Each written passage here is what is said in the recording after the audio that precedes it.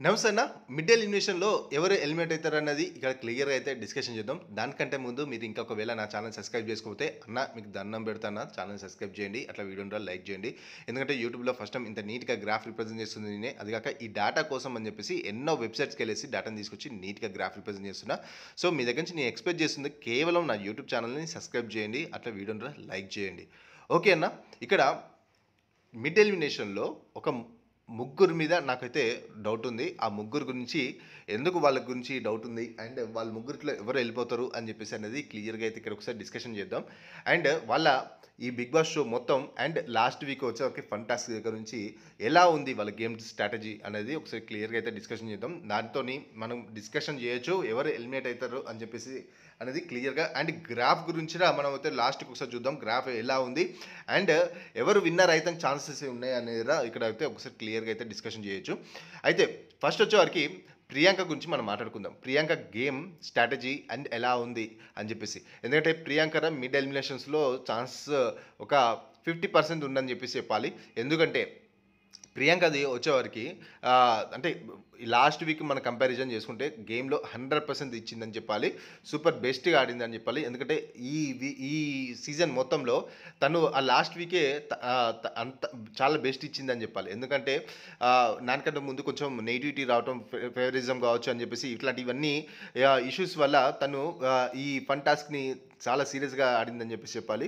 So ఎందుకంటే comparison చేసుకుంటే అందరితోని అందరితోని కంపారిజన్ చేసుకుంటే థర్డ్ ప్లేస్‌లో, ఫోర్త్ ప్లేస్‌లో అంటే ఆ ప్లేస్‌లో ఉండటానికి ట్రై చేసింది అన్నట్టు. కంపారిజన్ చేసుకుంటే ఎందుకంటే 6 నంబర్స్, 7 నంబర్స్‌లో తో కంపారిజన్ చేసుకుంటే థర్డ్ ప్లేస్ అంటే టూ గ్రేట్ అని చెప్పేసి చెప్పాలి. ఎందుకంటే ఒక అమ్మాయి ఆ బెస్ట్‌కి ఇవ్వటం అనేది గ్రేట్ అని చెప్పేసి చెప్పాలి. అయితే ఓవరాల్‌గా చూసుకుంటే ఓవరాల్‌గా మనం గేమ్ మొత్తం చూసుకుంటే తనది అంటే 'బిగ్ బాస్‌కి' ఒక అంటే నాగార్జునకి ఒక రియాలిటీ నమ్మకం ఉండేది. తను జెన్యున్గా మాట్లాడుతుంది అండ్ ఏదైనా ఇష్యూ ఉన్నప్పుడు తప్పు ఎవరితో వాళ్ళకి క్లియర్‌గా ఎక్స్ప్లెనేషన్ అయితే ప్రొవైడ్ చేస్తుందని చెప్పేసి ఒక ఒక బిలీవ్ అయితే తన మీద ఉందని చెప్పేసి చెప్పాలి. సో ఇవన్నీ మనం కన్సిడర్ చేసుకోవాల్సింది ఉంటాయి అన్నట్టు. అండ్ తన గేమ్ స్ట్రాటజీ కావచ్చు అండ్ ఆడే తీరు కావచ్చు అండ్ ఫెవరిజం కా ఇట్లాంటివి కొంచెం నెగిటివిటీ వచ్చినా కానీ కొన్ని 100% గేమ్‌లో ఆడటం కావచ్చు, పద్ధతి కావచ్చు ఇవన్నీ సూపర్ అని చెప్పేసి చెప్పాలి. సో ఇవన్నీ కన్సిడర్ చేసుకోవాల్సింది ఉంటుంది సో ఇవన్నీ మనం చూసుకున్నప్పుడు తనకి ఆహ్, కొంచెం ఓటింగ్ పోల్స్ రా ఇంక్రీజ్ అయ్యాయని చెప్పేసి క్లియర్ అర్థమవుతుంది. సో ఈ విధంగా వచ్చేవరకు తను వచ్చేవరకు ఫస్ట్ పొజిషన్‌లో ఉందని చెప్పాలి. అంటే ఫస్ట్ పొజిషన్‌లో అంటే ఫోర్త్ పొజిషన్ అంటే సేవ్ అయితే ఫిఫ్టీ పర్సెంట్ ఉందని చెప్పాలి. అండ్ 75% ఎలిమినేషన్ అయితే ఛాన్స్ అర్జున్‌కి ఉన్నాయని చెప్పాలి. ఎందుకంటే అర్జున్ గురించి మనం మాట్లాడుకుంటే అర్జున్‌కి ఒక నెగిటివిటీ జనరేట్ అయిందని చెప్పాలి. క్లియర్‌గా మాట్లాడుకుంటే అర్జున్ ఫైనల్ పవర్ వస్తే రాపోయి ఉంటే నేను ఎలిమినేట్ అయిపోతా అని చెప్పేసి అంటే నాగార్జునే చెప్పడం జరిగింది. ఈ వారం హెల్మెట్ కావాల్సింది అర్జున్. కానీ ఫైనల్ పవర్ రావటం వల్ల అర్జున్ సేవ్ అయ్యాడని చెప్పేసి చెప్పడం జరిగింది.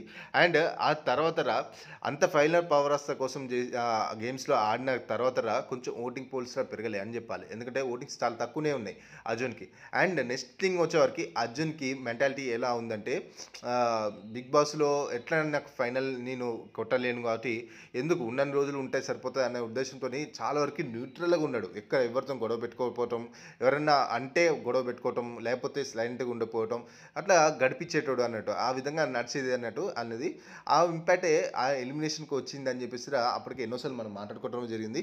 సో అండ్ ఇంకో విషయం మాట్లాడుకోవాల్సింది ఏంటంటే అర్జున్ వచ్చేవరకు వైట్ కార్డ్ ఎంట్రీలో రావటం వల్ల సో ఈ ఎలిమినేషన్స్‌కి అంటే మిడ్ ఎలిమినేషన్‌కి ఛాన్స్ ఈ ఒక పాయింట్ ఎక్కువ ఉందని చెప్పేసి చెప్పాలి. ఎందుకంటే యావర్ కంపారిజన్ చేసుకుంటే యావర్తోనే యావర్ ఎందుకంటే డే వన్ నుంచి వచ్చాడు. బెస్ట్ పర్ఫార్మెన్స్ ఇచ్చాడు. అన్నిట్లో టాస్క్‌లో కావచ్చు అండ్ చూసుకుంటే అంటే అర్జున్ కంటే చాలా మంచి పర్ఫార్మెన్స్ ఇచ్చాడని చెప్పేసి చెప్పాలి. సో ఇవన్నీ మనం కన్సిడర్ చేసుకోవాల్సింది ఉంటుందని చెప్పేసి సో ఇట్లా అర్జున్‌కి సెవెంటీ ఫైవ్ పర్సెంట్ ఛాన్సెస్ ఉన్నాయని చెప్పేసి అయితే నాకు నాకైతే అనిపిస్తుందని చెప్పాలి. 75% కాదు ఇంకా ఎక్కువనే ఉందని చెప్పేసి చెప్పాలి. సో నెక్స్ట్ వచ్చేవరకు యావర్ గురించి మనం మాట్లాడుకుంటే యావర్ వచ్చేవారికి రియాలిటీగా మాట్లాడుకోవాలంటే లాస్ట్ ఫైవ్ వీక్స్ అంటే టెన్త్ వీక్ నుంచి రతిక రీ ఎంట్రీ ఇచ్చిన తర్వాత నుంచి మీరు అబ్జర్వ్ చేస్తే యావర్ గేమ్ ప్రతి రోజు పడిపోతుందని చెప్పాలి. ఎందుకంటే అప్పటికే నాగార్జున చెప్పడం జరిగింది. శివాజీ, పల్లె వీళ్ళందరూ రా ఎందుకు వరెస్ట్ నామినేషన్ చేస్తున్నావు గేమ్‌లో స్లో అయిపోతున్నావు అని చెప్పేసి అంటే తనే ఒక ఒక టైంలో ఒప్పుకోవటం జరిగింది. నామినేషన్ సబ్లో అప్ అండ్ డౌన్స్ ఉంటాయి కంపల్సరీ ఒక ప్రతిరోజు ఒకలాగానే ఉండాలి కదా ఉండలేము కదా అనేది ఒక స్టాండ్ ఒక ఒక వర్డ్ రిలీజ్ చేయడం జరిగింది యావర్. అయితే ఇక్కడ ఒక విషయం మనం మాట్లాడుకోవాల్సింది ఏంటిదంటే ఇక్కడ క్లియర్‌గా యావర్‌కి మీరు అబ్జర్వ్ చేస్తే లాస్ట్ ఫన్ టాస్క్ దగ్గర గేమ్ పెర్ఫార్మెన్స్ చూపించలేకపోయాడు. ఆ ఒక్క ఇంపాక్ట్ అనేది చాలా పడ్డదని చెప్పాలి. ఎవరికి ఓటింగ్స్ అందుకే తక్కువ వస్తున్నాయని చెప్పాలి. ఎందుకంటే మీరు అబ్జర్వ్ చేస్తే శోభ యాక్చువల్లీ శోభ ఫస్ట్ అంటే ఫన్ టాస్క్లు ప్రతి దాంట్లో ఫస్టే ఓడిపోయేది. ఓడిపోయిన తర్వాత వాళ్ళ ఫ్రెండ్స్‌కి సాయం చేస్తానికి ట్రై చేసేది. లేదంటే ఫేవరిజం చేస్తానికి ట్రై చేసేది. లేదంటే వీళ్ళ బే బ్యాచ్ ఉంది కదా! పల్లవి ప్రశాంత్ కావచ్చు, శివాజీ కావచ్చు, యావర్ కావచ్చు వీళ్ళని టార్గెట్ చేసేది. టార్గెట్ చేసే దాంట్లో అప్పటికే శివాజీ అన్న ఎన్నోసార్లు చెప్పడం జరిగింది. యావర్ అస్సలు, అస్సలు ట్రిగర్ కావద్దు. ఈ వారం ఇంకా చాలా ఘోరంగా ఉంటుంది ఎందుకంటే ప్రతి ఒక్కరు రెచ్చగొడడానికి ట్రై చేస్తారు. రెట్టి పరిస్థితులు అయితే మనం కావద్దు అని చెప్పేసి చెప్పడం జరిగింది. సో, ఈ ఇంపాక్ట్ అనేది ఆ రోజున, ఆ రోజున తను అనవసరంగా యా గొడవ పెట్టుకొని గేమ్‌లోంచి బయటకు రావటం, గేమ్ స్పాయిల్ చేసుకోవటం. సో, ఇట్లాంటి ఇష్యూస్ అనేది అనవసరంగా యావర్ అని చెప్పేసి క్లియర్‌గా చెప్పొచ్చు. సో, ఈ ఇంపాక్ట్ వల్లనే యావర్‌కి గేమ్ స్పాయిల్ అయింది. యావరికంటే ఒక ఫుటేజ్ తగ్గింది అని చెప్పేసి క్లియర్‌గా చెప్పుకోవచ్చు. అయితే యావర్ దగ్గర ఉన్న ఒక బెస్ట్ థింగ్ ఏంటిది అని చెప్పేసి అంటే మనకి ఫస్ట్ ఫైవ్ వీక్స్ ఆడిన గేమ్ స్ట్రాటజీ కావచ్చు అండ్ ఆడిన తీరు చూస్తే ఇవన్నిటికీ కొంచెం ప్లస్ పాయింట్ అని చెప్పాలి. అండ్ ఏవి గురించిలో మాట్లాడుకుంటే అర్జున్ కంటే బెస్ట్ ఇచ్చాడని చెప్పేసి క్లియర్‌గా చెప్పాలి. సో, ఆహ్, వచ్చేవరకు ఒక 70% ఛాన్సెస్ ఉన్నాయని చెప్పేసి క్లియర్‌గా అర్థమైపోతుంది ఎలిమినేషన్ అయితానికి.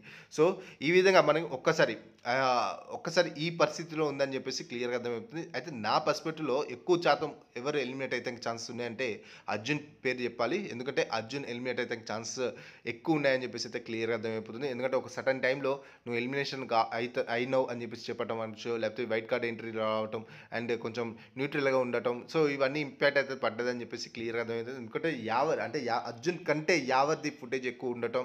సో, ఇట్లాంటి కంపారిజన్ చేసుకోవాల్సి వస్తుంది అని చెప్పేసి చెప్పాలి. సో, ఇవన్నీ మనం కన్సిడర్ చేసుకోవాల్సి వస్తుంది అని చెప్పేసి క్లియర్‌గా అయితే అర్థమవుతుంది ఎందుకంటే మీరు చూస్తుంటే అంత టాస్క్‌లు ఆడినా కానీ అర్జున్‌కి ఓటింగ్స్ చాలా తక్కువ రావటం కావచ్చు. ఇవన్నీ కంపారిజన్ చేసుకోవాల్సి వస్తుంది. అయితే ఈ గ్రాఫ్ మనం క్లియర్‌గా చూస్తే ఈ గ్రాఫ్ మనం ఎట్లా కన్సిడర్ చేస్తున్నామంటే అన్ని వెబ్‌సైట్స్‌లో ఒక్కొక్కరు ఒక్కొక్క స్టైల్‌లో అంటే ఒక నాట్లో పల్లె ప్రశాంత్ హైయెస్ట్‌లో ఉన్నాడు. ఒక దాంట్లో శివాజీ హైయెస్ట్‌లో ఉన్నాడు. ఒక నాట్లో అమర్ సెకండ్ పొజిషన్‌లో ఉన్నాడు. సో, ఇట్లాంటి కంపారిజన్ చేసుకున్నప్పుడు వాళ్ళందరినీ ఒక ఒక ఒక ఆర్డర్‌లో వేసుకొని అండ్ మనం మన క్యాలిక్యులేషన్ చేసుకొని ఈ విధంగా లెక్క వేసుకుంటే మనకి గ్రాఫ్ అనేది ఎగ్జాక్ట్‌లీ ఈ విధంగా వస్తుందని చెప్పేసి చెప్పాలి. సో, మనకి రియల్‌గా ఒకసారి ఒకసారి గ్రాఫ్‌ని కన్సిడర్ చేసుకుందాం. ఫస్ట్ నుంచి లాస్ట్ వరకు అండ్ ఎవరు విన్నర్ అయితే ఛాన్సెస్ ఉన్నాయి. అంటే వీళ్ళ ముగ్గురింట్లోంచి ఎవరు వెళ్ళిపోతే ఎవరు ఎల్ ఛాన్సెస్ ఉన్నాయి అనే సంగతి మనం ఇక్కడ ఒకసారి క్లియర్‌గా డిస్కషన్ చేద్దాం. ఫస్ట్ వచ్చేవరకు పల్లె ప్రశాంత్ ఉన్నాడు. సెకండ్ వచ్చేవరకు శివాజన్న థర్డ్ పొజిషన్ వచ్చేవరకు అమర్‌దీప్. సో, వీళ్ళ ముగ్గురికి గ్రాఫ్ మీరు ఒకసారి చూడండి. శివాజన్నకి ఇంకా పల్లె ప్రశాంత్‌కి వచ్చేవరకు జస్ట్ పర్సెంటేజ్ చాలా చాలా దగ్గర పర్సంటేజ్ అన్నట్టు. అంటే 1, 2 పర్సెంటేజ్‌తోనే డిఫరెన్స్ ఉందని చెప్పేసి చెప్పాలి. అండ్ శివాజీకి, అమర్‌దీప్‌కి వచ్చేవరకు జస్ట్ ఇక్కడ చూడండి వన్ పర్సెంటేజ్ డిఫరెంట్ ఉందని చెప్పేసి చెప్పాలి. ఎంత పెద్ద గ్రాస్ చేంజ్ అయితే లేదని చెప్పేసి చెప్పాలి. సో, ఈ ఇంపాక్ట్ ఒకసారి అమర్‌కి ఇంకా పల్లె ప్రశాంత్‌గా చూస్తే 2, 3 పర్సెంటేజెసే డిఫరెన్స్ ఉందని చెప్పి చెప్పాలి. సో, ఈ ఈ ఓటింగ్స్ అయితే ఇందులో మిడ్ ఎలిమినేషన్‌లో వెళ్ళిన తర్వాత మనకి ఓటింగ్స్ అనేది ఒక వన్ డే మాత్రమే ఉంటుంది అయితే ఈ వన్ డేలో ఆ పర్సన్ విన్నర్ ఎవరు అనేది క్లియర్‌గా తెలిసిపోతుంది ఎందుకంటే ఇన్ కేస్ ఒకవేళ యావర్ వెళ్ళిపోయాడు అనుకోండి.